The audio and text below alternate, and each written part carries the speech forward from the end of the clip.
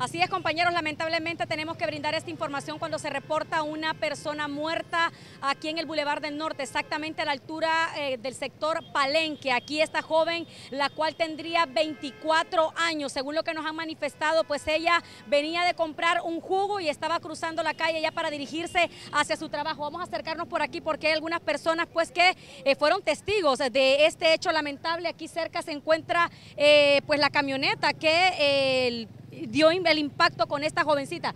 A usted le consulto, me dice aquí que ella siempre venía aquí a comprarse un jugo y, pues lamentablemente fue levantada por este vehículo. Exactamente, así fue, así fue que sucedió las cosas. Ella iba cruzando la calle y la agarró el carro.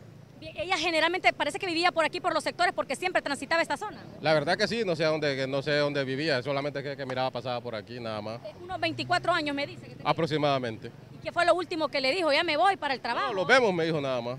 ¿Se recuerda del nombre de esta joven? No me lo recuerdo en este momento. Ahora, en ese momento que ella estaba eh, cruzando por ahí, sabemos que este es un bulevar bastante conflictivo, venía bastante vehículos. Sí, yo le pido que por favor al gobierno que debía puesto uno aquí, necesita un, un puente peatonal, porque aquí han habido bastantes muertos ya. He contado 14 con este ya. Ella iba cruzando y de repente el vehículo apareció. Eh, de repente el vehículo apareció. pero aquí los zapatos de ella quedaron casi como unos 50, 60 metros. Sí, que fue, fue bastante grande el impacto bueno, muchas gracias. Aquí ha quedado el cuerpo de esta joven. Al parecer, eh, como manifiesta él, eh, residía en el sector porque todas las mañanas ella venía, compraba un jugo aquí en un puestecito que hay en este sector y posteriormente cruzaba ya el bulevar para dirigirse hacia su lugar de trabajo. Aquí, eh, bueno, todavía no ha llegado la policía de tránsito, así que hacemos un llamado enérgico para que se haga presente los miembros de la unidad médica de emergencias, pues se trasladaron hasta este sector creyendo que todavía esta joven podría encontrarse con vida, pero lamentablemente al llegar ya no tenía signos vitales. Así que este es el informe que tenemos, nos mantenemos